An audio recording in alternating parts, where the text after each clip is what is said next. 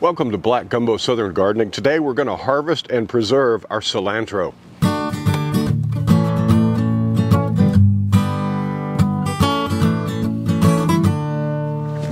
Look at this cilantro. These plants are healthy and doing great. But we need to harvest. The reason we need to harvest cilantro is it does not tolerate hot weather. And as soon as it warms up, th these guys actually lived through our epic freeze. But as soon as it starts to warm up, that's the cue for this cilantro to bolt. Bolting simply means it grows a stalk, puts on flowers, and goes to seed. And when it does that, the, the leaves don't taste very good anymore. Um, what we're going to do is harvest all these great good leaves down here and I'm going to show you a couple ways to preserve cilantro. Because you know if, if you buy cilantro you know that it goes bad in like three days. Sitting in your fridge leaves start to turn black that's no good. We want to extend cilantro to at least last us four three four weeks right? It's still not going to last forever. You can freeze it and it will last almost indefinitely in your freezer uh, but then you, you lose you lose some of the color. If you're looking for aesthetics, if you're looking for a garnish, um, yeah, it, it's not quite that nice. But I'll talk about several different ways that you can preserve this, and we're going to go into the kitchen and I'll show you. But first, I got to harvest it. So I want to try to leave maybe some of these tall stalks behind and just take off all these good leaves that we need because if those go to seed, cilantro becomes, the seeds become coriander and maybe we can get some of that. Won't be much, just two little plants here. Let's start harvesting. I'm just gonna come in here and start snipping stalks, dropping them down in my big dish. I'm gonna use that big dish to wash some of the cilantro. Now, if you grow your own cilantro, then you know what you've put on your plants or if you've put anything on at all. What I would suggest if you're going to freeze it is don't wash it. That seems counterproductive. But what what causes this stuff to go bad is moisture. If you're going to store it in the fridge, and one of the methods I'm going to show you, don't wash it. Wash it when you use it and not when you store it. Wow, that smells so good. I'm going to leave some of this foliage on here so that we can try to grow some coriander seed. And I'm going to avoid, let me show you what to avoid. These wispy leaves that almost, they start to look like they're frilly. We don't need that. Up here, these wispy leaves, they almost start to look like carrot leaves. Those are not going to taste good. What you want are these flat, big, broad leaves like that. So, let me just get down in here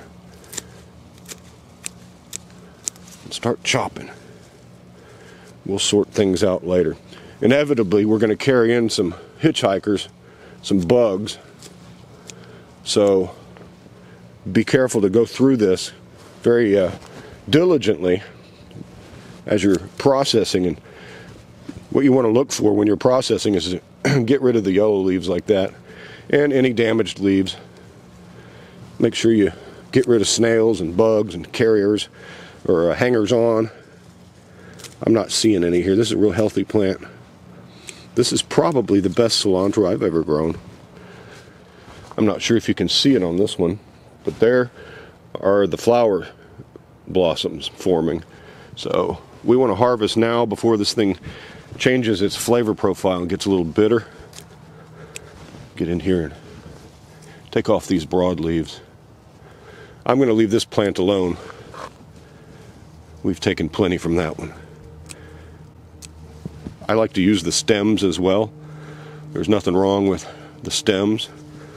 A lot of flavor in there. All right, I think we've got a good batch.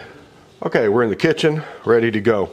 I want to show you first the way to preserve this for three weeks, maybe four weeks, a whole month in the refrigerator so that uh, you know it doesn't it doesn't go bad. The enemy of cilantro, if you're trying to keep it fresh like this, is moisture. And it's beyond me at the grocery store why they have those misters that that uh, shower down on the produce to uh, keep it kind of cool, but it, it, makes it wet. And you bring your cilantro home, it's all wet. You put it in the fridge, and it rots. You know the little uh, uh, vegetable drawers, the produce drawers, the crisper down at the bottom. We call that the rotter in our fridge because when we put cilantro in there, it's good for a few days. At the max, you might get a week out of it. And you see when that happens, when that rot starts happening, these leaves start to turn black, dark green and black. And the more of that stuff that's in your cilantro bunch, the, the, the faster it's going to rot. So what we're going to do is take it right from the garden and we're not going to wash it. Going to leave it dry. And what I'll do, wrap it in a paper towel and tightly wrap it in a paper towel and put it in a Ziploc bag, get all the air out of it, and that will store in your fridge much better than wet cilantro. So, get me a nice long piece of paper towel, and what we're going to do is examine our cilantro as we go to make sure we don't have any bugs and snails, and we throw out any yellow leaves. And we're just going to get us a little pile right here and roll it up into a little cilantro burrito. I keep the stems. There's a lot of flavor in those stems. All right. We're just going to kind of tightly roll this up. Probably don't need all that. Like so. And that goes into the refrigerator. After we get all the air out of it, I'm going to kind of roll that air out of it and zip it up. I'm going to write the date on here, and this will keep in the fridge, like I said, good long while. Now, with that dry storage method, you want to remember when you take it out to wash it, because we haven't washed it yet. But this one, the rest of this, I'm going to go ahead and wash. And I'm going to put some vinegar in here just to kill off any bugs that might be crawling around in there. And we'll let this soak for about 15 minutes. Just a little bit of vinegar, the cheap stuff. You don't need much. And we'll just kind of swoosh it around, get any of the dirt that's in there. When you grow this yourself, there's no chemicals and uh, there's no uh, there's no chemicals unless you put chemicals on. But I know I, I didn't put any chemicals on here. The only thing that's going to be on here is dirt and bugs. The stuff you get at the store, you want to make sure that you do this step. You never know who's touched that. You know, they just put it out and uh, leave it unprotected from whoever comes by. You never know where their hands have been. Yeah, that's gross. All right, we'll let this soak for a little bit. All right, 10 minutes, 15 minutes. That's all you need. We're going to put it in our colander here and let it dry out a little bit. And then we're going to move on to other storage options. If you had a salad shooter or a salad spinner, that would be ideal. but what we're going to do with this doesn't require absolutely dry herbs. Incidentally, you can you can preserve any tender herbs basil, parsley, even dill with these methods. I froze dill straight up, took it dry and just put it in the freezer. And it's retaining its color pretty well. Let me show you. The dill has retained its dark green color. It's going to be, well, it'll hold its shape, but it's not crispy anymore once you thaw it out because freezing bursts the cell walls of the plant and you end up with mushy plants. So, you know, you wouldn't use this as a garnish or anything, but you certainly could cook with it. That's, that's one way, straight, straight up freezing. All right, I'm just going to kind of loosely pat this dry. All right, I'm going to move it off this way. What we're going to do is chop some up, put it in ice cube trays, freeze it. You can use uh, water to uh, kind of form an ice cube. You can use oil. We're going to chop some up and I haven't decided water, oil. I am going to show you another way that does use oil though. Like I said, I like the stems and when you chop it up, it doesn't really doesn't really matter if the stems are left in there. We're just going to give this a pretty fine chop.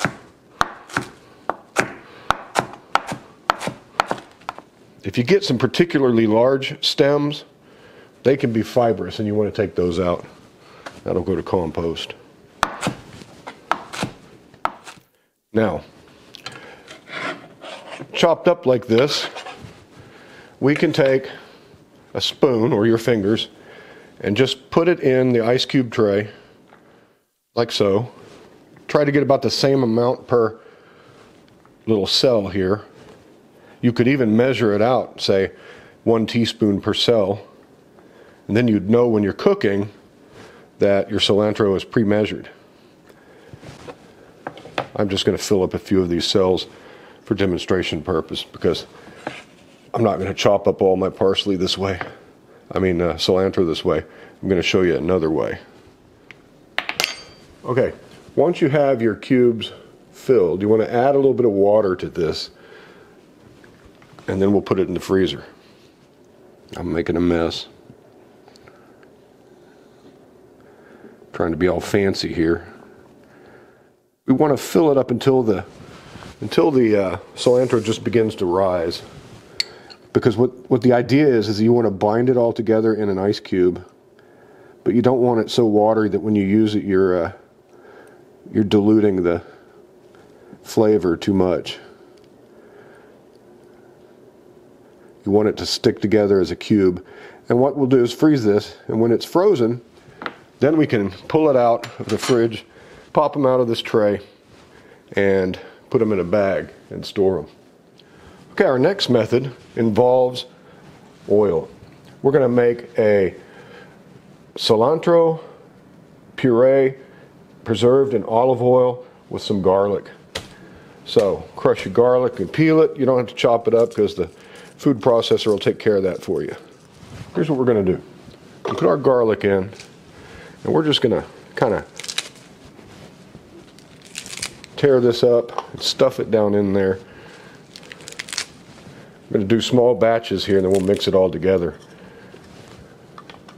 I don't want to go out and try to dig up my other food processor. You could do this in a blender if you've got a particularly powerful blender. Perfectly okay. Again, as you're going through this, take the time to examine your, your leaves and look for any that are yellow. Get them out of there. All right, let's see what, the, what this does. I'm going to put a little bit of olive oil in there.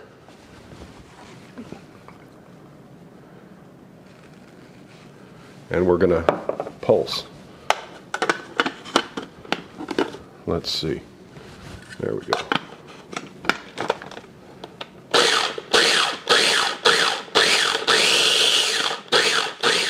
Now, some folks prefer a chunky, kind of a pesto like consistency.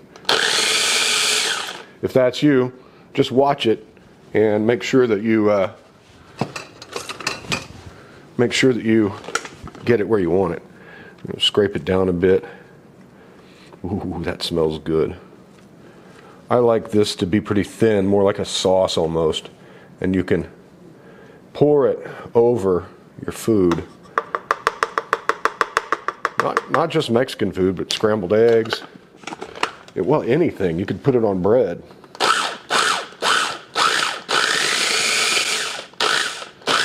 All right, let's put some more in. A little bit more oil. This is an eyeball kind of thing. We're eyeballing it here. We're not, there's not really a recipe.